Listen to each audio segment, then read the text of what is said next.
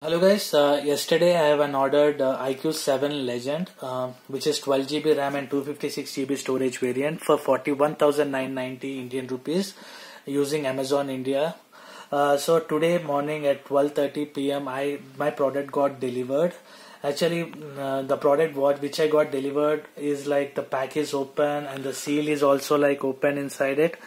The seal is open uh, on both the sides of the product and inside the box actually there is a surprise. The phone is missing inside the product inside the box. Uh, if you see these are the items which are available in the uh, inside the box. And the point is the main phone is missing inside the product and moreover when I'm getting the bill right the shipping invoice generated bill uh, I got two invoices. Uh, the one invoice I found it inside the box which has been returned by someone else who is called Swati Constructions. And uh, the bill is inside the box. And moreover this is a new bill. On top of it I got generated.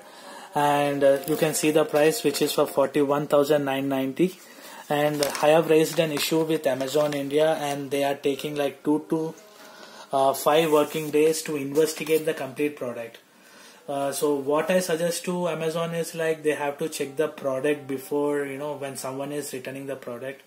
So now I'm getting blamed and I'm the one who is facing these issues and problem. Uh, see, actually the main problem is like the phone is completely not available. See, the cover of the phone is available, but the phone is missing here. And the rest of the manual books and uh, those things are already available uh, but the point is the charger is the charger wire is already removed and it is not in a proper way and uh, the cover the cover on the top of the particular uh, charger is also available and the main uh, mobile is not available inside this product so i I recommend to Amazon to kindly look into this issue and kindly resolve as early as possible.